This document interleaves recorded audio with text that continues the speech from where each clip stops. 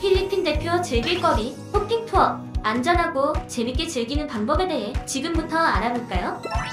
hopping 투어란 hopping 투어는 배를 타고 먼 바다로 나가 스노클링을 하면서 열대어와 산호를 직접 볼 수 있는 해양 activity입니다.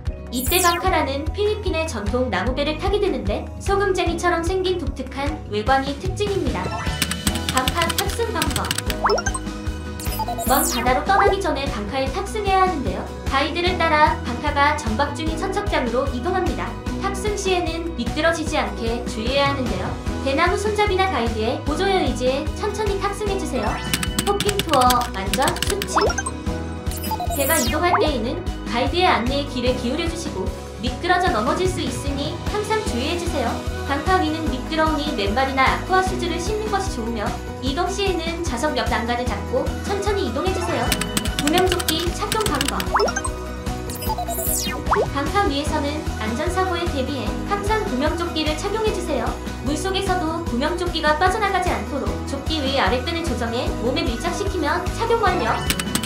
스노클링 장비 착용법 바다로 들어가기 전 스노클링 장비를 나누어 드리는데요. 먼저 수돗물 혹은 전용 세제로 물안경을 세척해 김서림을 방지하고 깨끗한 시야를 유지하게 합니다. 머리카락이 물안경 사이에 들어가지 않도록 주의하고 물안경의 밴드를 얼굴에 밀착하도록 조절하면 스노클링 중 물이 들어오는 것을 예방할 수 있습니다. 장비를 사용한 호흡법 숙지도 중요한데요. 마우스피스 착용 시 입 모양을 아, 이, 우 모양으로 만들어 확실히 물어주고 바다로 들어가기 전 입으로 숨을 쉬는 연습을 반복하면 보다 안전하게 스노클링을 즐길 수 있습니다. 만약 호흡관 안으로 물이 들어온다면 당황하지 말고 입으로 세게 바람을 불어 뱉어내주세요.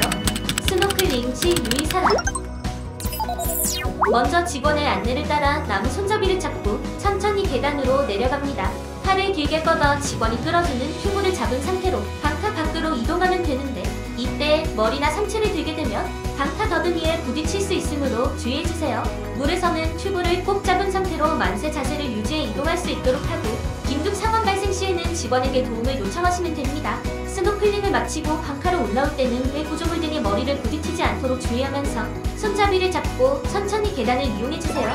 hopping 투어 즐기는 팁 action cam이나 방수팩을 사용한 스마트폰으로 물속을 촬영해보세요. 이때 촬영 장비는 안전끈이나 고리 등을 사용해 스노클링 중 손에서 놓치더라도 몸에 매달려 있도록 하는 것이 좋습니다.